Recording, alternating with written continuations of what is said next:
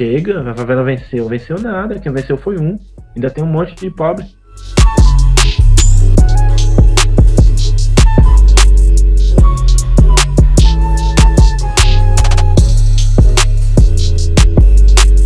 Meu nome é Rodolfo Almeida, né? Eu nasci em Pernambuco, mas sempre criado em Alagoas até os 14 anos. E nasci no dia 29 de 9 de 1991. Minha infância foi boa, tive a oportunidade de brincar, de aprender muitas coisas. Como eu morava no interior, né? Era cidade pequena, as capitais mais próximas eram Recife e Maceió, ficava no meio das duas. Né, e tem, tinha Maragogi também, que era um pouco, uma cidade um pouco maior, mas nessa época uma proporção um pouco menor do que ela é hoje, né, turisticamente falando, mas já existia. E sempre foi, morei com meu pai e com a minha mãe um período, depois minha mãe mudou para São Paulo e eu fiquei morando com meu pai um bom período, Hum, morei com meu pai até os 12, e aí depois ele chegou a falecer. E aí eu morei um tempo só com meu irmão, esse período aí de do, quando, eu tinha, quando eu tinha 12 anos. É, eu já catei latinha, garrafa de bebida, isso quando mais novo, né? Já fui pescador, já fui ajudante pedreiro por muito tempo, com meu tio, ajudante canador, elétrica, ajudando de tudo.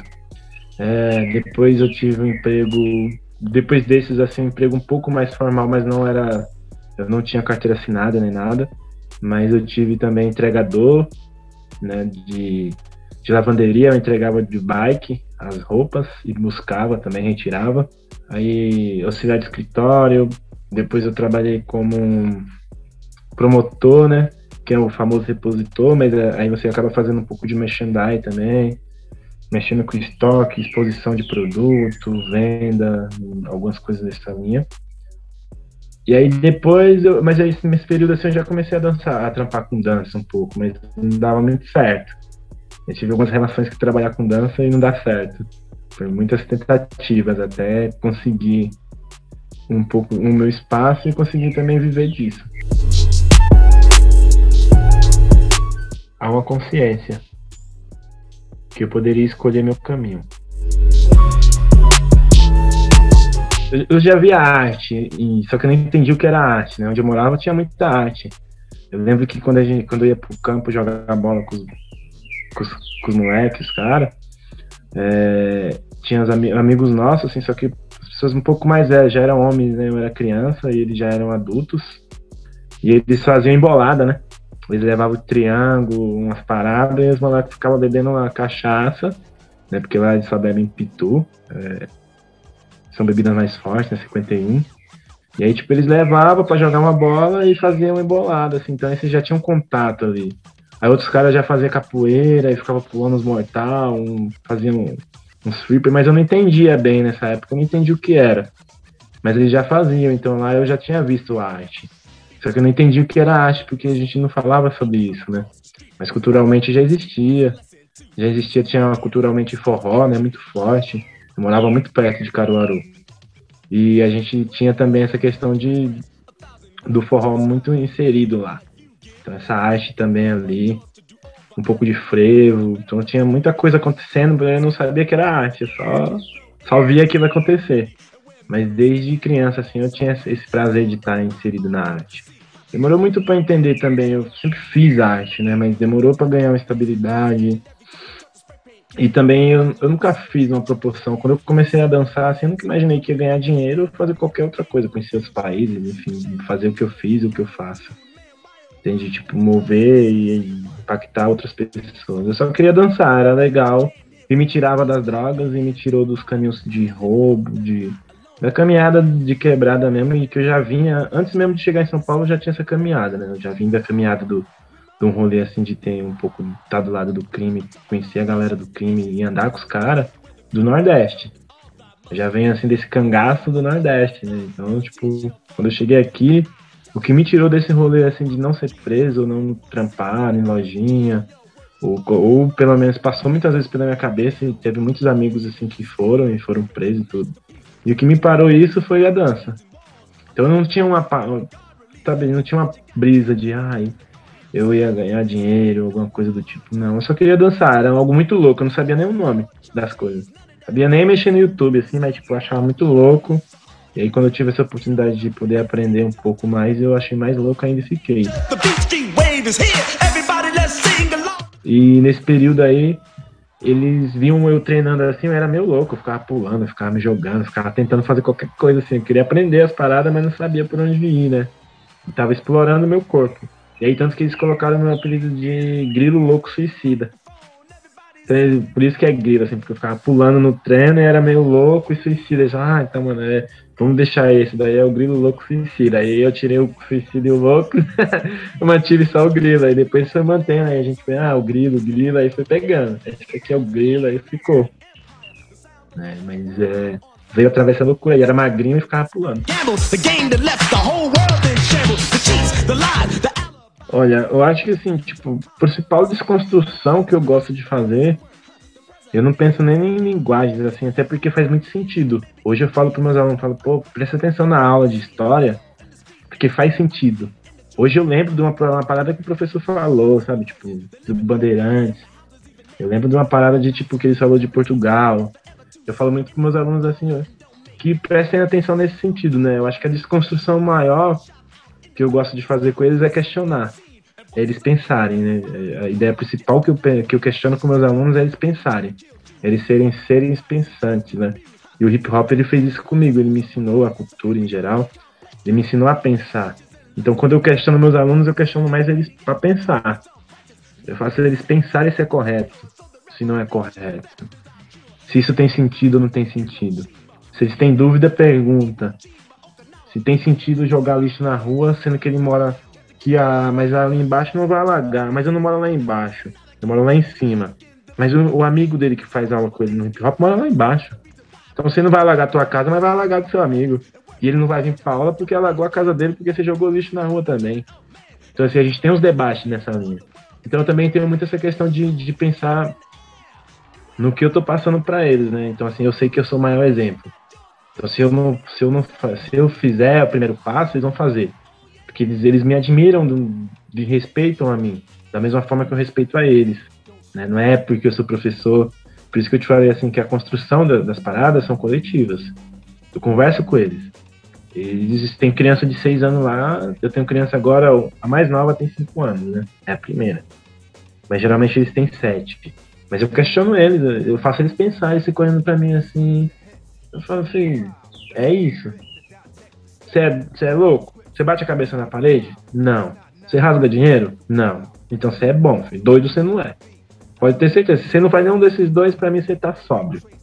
Então, assim, eu questiono muito eles sobre isso, sobre eles questionarem, né? Sobre eles falarem, sobre eles estar tá conversando, respeitar também, né? E tentar aprender o máximo, porque a gente sabe que a escola é uma construção muito. A, a forma é muito quadrada, né? Mas se ele tiver um pouco redondo, essa forma quadrada pode vir para dele redonda e girar. Então, porque a gente vai encontrar em todos os lugares os pensamentos quadrados, né? Então são os pensamentos de lá, são os pensamentos nossos que a gente precisa controlar, né? E, e tentar buscar o melhor caminho desse questionamento de como se inserir nesse meio. Porque infelizmente, se eles forem para faculdade, vai ser a mesma coisa, não vai mudar. O ensino é quadrado, mas se eles estiverem redondo, eles vão sair de lá redondo, com muita informação boa e com muito conteúdo para talvez mudar a quebrada dele, mudar a família dele. Então acho que esse é o primeiro questionamento que eu faço com eles é isso, eles pensarem, eles serem ser pensantes, eles questionarem mesmo, ser chatinho, por quê? Não é por que isso? Às vezes eles me, eles me perguntam um negócio, por quê? Eu falo, não sei, vamos, vamos pesquisar junto, calma aí. Senta aí, vou descer o telão aqui vamos pesquisar no Google. Aí eu leio pros moleques e aprendo junto, assim. Então é, é tipo, eu falo pra eles, eu não sei tudo. Mas se eu não souber, eu posso perguntar a alguém que sabe. Olha, eu sou muito livrão, sabe? Tipo, meu processo de criação é geralmente eu trabalho muito do que está acontecendo. Se eu tento explorar o que eu vivo, o que eu faço, o que eu gosto. Se é um processo de criação para um show, geralmente eu tento trazer o que a gente vive, né? É, eu, eu tento relatar a parada mesmo que acontece com a gente. É, a gente tem um espetáculo da 011 que é a minha crio chamado do Assalto pro Palco Então, tipo, tem abuso policial, tem é, furto, tem preconceito com o time. Então, assim, tudo que a gente viveu foi o que a gente traz, sabe? Então, assim, eu penso muito sobre isso, assim. E quando eu faço também coreografia, é uma, um processo muito democrático. Eu gosto de dar para meus alunos alguma coisa, assim, tipo, eu falo, pô, vamos, vamos sentar e pensar. E aí a primeira coisa que a gente pensa é na música, né? Mas geralmente eu dou uma sugerida, então eu trago algumas músicas que eles não gostam. A gente trabalhou uma época com rapadura e, e para eles foi muito estranho e ao mesmo tempo prazeroso, porque depois de um tempo eles estavam cantando rapadura. Liberdade é você escolher seus caminhos, né? Acho que a maior, maior liberdade é você poder escolher seus caminhos. Eu já fiz, eu fazia eu já faço publicidade há bastante tempo, assim, tipo, já fiz muita coisa legal, Copa do Mundo, gravar junto com o Neymar, vários caras assim que tem nome, Assunção. E aí, longo desse período, eu decidi, tipo, entrar mais, assim. Então, já fiz muita coisa de foto, vídeo, até que chegou uma hora que eu decidi investir mais na minha imagem, né? E, e a rede social, ela tem muito essa, esse poder, né? Eu tive muito, como a gente falou um pouco antes, eu tive muito em programa de TV. Ele me deu esse funcionamento muito grande também dentro do Instagram, de uma galera da Bahia, tipo, uma galera do, do, do, Brasil inteiro conhecer um pouco do meu trampo, conhecer um pouco do que eu faço. E por estar lá na TV, né? Tipo, como 2 milhões de pessoas assistem, é pancada. E aí eu venho investindo nessa carreira de modelo há um tempo, né? É, acho que tem um, um ano e meio, assim, que realmente eu encantei com essa ideia de trabalhar com a minha imagem, de vender mais a imagem. Eu sempre acreditei muito, eu sempre trabalhei muito pelo Instagram, assim, tipo, as pessoas entravam no meu trabalho no Instagram e falavam para mim assim, Grilo, a gente quer te contratar, cara, mas a gente quer isso aqui que você fez no seu Instagram, a gente quer essa linha de trabalho. Então eu identifiquei que, tipo, começou a virar um, um portfólio e a, a, galera virava um, um cardápio, né? A galera escolhia o que eu, eu tava postando. Então eu falei, pô, então eu vou começar a postar uma coisa diferente, vou começar apostar também o meu trampo como modelo, vou também vender um pouco da minha imagem, porque quando eu ia nos lugares assim, eu via uma galera, velho, fazer tipo um street air, vai, tipo, ah, eu tava lá como modelo da Samsung para fazer uma parada, mas tipo umas coisas que eu fiz e aí tinha uma galera assim também street air lá. Mas às vezes a galera nem era street air, só, só se vestia igual a nós. Mas não era nós, não era a gente que fazia o corre da rua. Não era a gente que tinha uma realidade mesmo. De tipo, ah, essa parada aí de amarrar um a cadastro no. amarrar, tipo, amarrar sua bermuda, sua calça com cadastro. Eu faço isso há 20 anos quase, entende? É da minha cultura. A gente faz isso porque o cinto machucava a gente quando a gente gira. Então a gente usa isso. O cadastro largo é porque era bonito. Aqueles tênisão bonitão aí que nem vou falar o nome, tem várias marcas aí. E a gente usava porque mano, pra nós era da hora, era da cultura, entende? Então a gente era isso. Aí eu comecei a identificar que tinha gente ganhando dinheiro com a minha cultura, com o que eu faço, com o que eu sou, com a minha imagem. Então, mais do que justo, tipo, eu investi, eu, eu ainda estou investindo e continuo investindo nessa imagem, porque eu acho que tipo, as pessoas têm que pagar pelo que eu sou. Então, quando ela pedir alguém, ah, a gente precisa de alguém street é, sou eu, eu sou isso. Eu, eu sou a rua.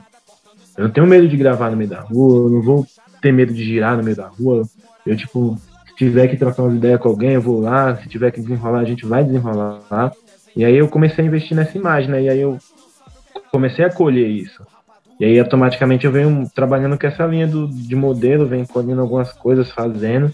Ainda tenho objetivos maiores de, de seguir, mas venho colhendo muitas coisas e eu falo muito pros meus brothers, assim, que são b-boys e b-girls dançarinos, eu falo, pô, mano, eu tô cansado de, de as pessoas me contratarem para girar pô, eu falo mó bem, eu sei falar, eu sei me impor, eu vivo uma cultura, tá ligado? Não, não é um cara que foi numa faculdade, ele fez uma faculdade que não existe faculdade de hip hop, mas ele se, ele se formou em história e com a tese lá em hip hop, e aí ele vai dar palestra de hip hop, mas ele nunca dançou, velho.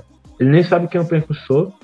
Ah, mas ele foi lá nos Estados Unidos e teve aula com, com o Herc, o trombou o África Bambata. Mas você vive o hip hop do Brasil, é outro hip hop. Não é o hip hop americano, não é o hip hop europeu entende? Tá ligado? Então, quando eu trombo esses caras aí, os caras entendem porque, porque a gente fala a mesma língua, mas ao mesmo tempo a gente tá em tempos diferentes. O que se passa lá na, na, na, no país dele é diferente do meu, mas a gente fala igual. Então, tipo, se alguém quer contratar, contrata a gente que vive disso, né? Contrata a gente que é real.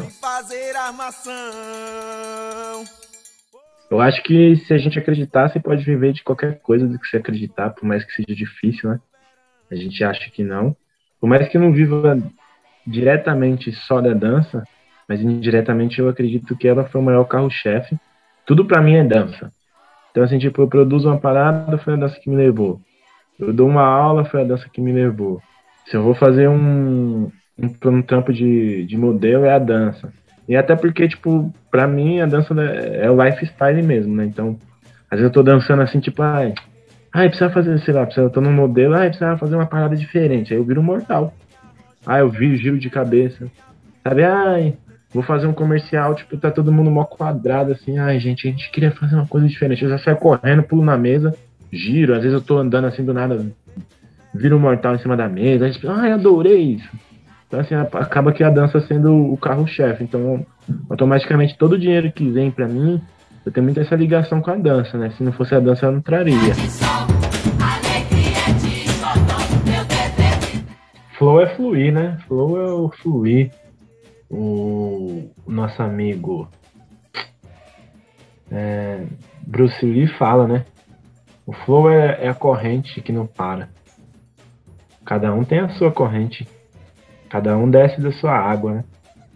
Nem da mesma água que eu bebo, meu irmão bebe. E nem a vivência que eu tive, ele tem. Então, assim, cada um tem o seu flow. O flow é o flow. O flow de um não é o flow do outro. Mas o flow é flow. É igual. O flow é fluir. Ele vai fluir do jeito dele. Mas não é o jeito igual. Então, assim, cada um tem um flow. O flow é igual e não é igual. Entende? Para quem tem flow, ele entende. Para quem não tem flow, ele vai procurar. Quando ele achar, ele vai entender. O, o hip hop, eu não, não sei se ele tem uma missão. Acho que nós, nós temos uma missão, né? O hip hop ele nasceu com a ideia de de uma festa, né, na real mesmo, da, da galera descontrair do que estava acontecendo. Então a galera fala muito do hip hop, mas eu acho que cada um faz o seu próprio hip hop. O que é hip hop para mim, o que é real para mim, às vezes não é real pro cara que mora lá no Morumbi. E ele faz o mesmo hip hop que eu. Então, assim, tipo, acho que cada um tem sua missão de vida, né? Mas eu acredito que o hip hop é uma ferramenta para mudar vidas. Talvez ele mude. E nem sempre você precisa ser praticante para mudar a vida, né? Você passou pelo hip hop e ele te deu uma lição de vida, ele te deu um caminho. Eu conheço vários que hoje não dançam mais, mas através do hip hop é design gráfico, fez uma faculdade, conseguiu pela escola da família ser formado. Então acho que a grande missão do hip hop é compartilhar, é a gente levar uma alegria, né? É de naquele momento de confraternizar, você confraternizar. Se é dançando, se é cantando, se é pintando. Você tem um momento ali com as pessoas. E aí cada um escolhe o que faz com esse hip hop, né? Se compartilha, se fica pra você. Mas eu acho que a missão de vida é nossa, né? uns, uns usam hip hop, outros usam capoeira, outros usam entendi, outros instrumentos, outras coisas. Outros usam coco, outros usam frevo. Então, assim, tipo, o hip hop ele tem uma função, né? Eu acho que ele nasceu com essa ideia de trazer a festa, o party. E aí depois ele foi muito para dentro das periferias e trouxe uma parada social e um inserimento das pessoas, né? Um conhecimento. Mas ele não tem obrigação nenhuma. Acho que o hip hop, ele, a única obrigação dele é ser um ambiente que as pessoas se sintam bem e acolhida. Tipo, que ela vá lá, ela, assim, ela veja uma festa sendo confraternizada, onde, por mais que tenha uma competição, onde uma pessoa tá ali porque ela gosta. É o amor. É o amor do que o cara sente dançando, do que o cara sente grafitando, da vivência dele cantando, da, do DJ colocando uma música e arrepiando o outro. Acho que é só isso. O hip hop só tem isso. Não tem obrigação nenhuma. Como nenhuma outra arte. Acho que aí vem de nós, né? Olha, eu tenho um conceito de felicidade um pouco diferente hoje, tá? A gente, quando entra em felicidade, a gente acha que depende de alguém ou de alguma coisa, né? Então, eu diria que hoje eu sou alegre. Eu me alegro com as pequenas coisas. É, feliz é só uma questão, é, é, é, momentâneo, né? Alegria eu posso enxergar em qualquer lugar. Para mim ser feliz, eu preciso ganhar uma competição gigante, eu preciso ser rico. Então acho que eu vou esperar muito para ser feliz, né? ou eu preciso encontrar alguém que me faça feliz, ou que eu seja. Então acho que me alegrar é mais gostoso. Eu sou alegre. Eu me alegro com as minhas coisas. Eu me alegro de estar do lado do meu irmão e sou feliz ao mesmo tempo de estar do lado dele. Me alegro de ver o passarinho cantar e sou feliz de ouvir ele falando ali o que ele quer dizer para mim. Então acho que andam junto, mas eu, eu, eu, penso, eu penso que me alegrar é mais gostoso. Eu posso me alegrar mais vezes do que ser feliz. Porque às vezes, mesmo no dia que eu tô ruim, eu posso parar por um segundo e me alegrar por ver o dia. Então acho que para mim o mais importante é isso. Acho que alegre é a palavra. Eu sou muito. Estou praticando todos os dias.